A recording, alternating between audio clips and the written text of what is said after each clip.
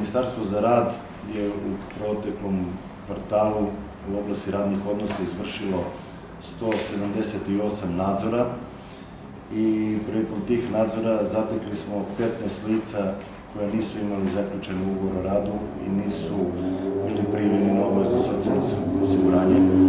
Nakon e, izvršenih nadzora 12 lica je regulisalo radno-pravni status, a inspektori rada su nakon utvrđenih nepravilnosti podneli prekršene prijave.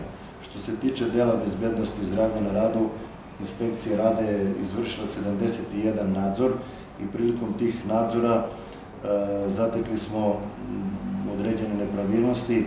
Mahom je to iz oblasti e, lične zaštitne opreme koju zaposleni nisu koristili, ali su bili i druge nepravilnosti što su inspektor rada utvrdili i nakon toga smo podneli 10 prekršenih prijeva.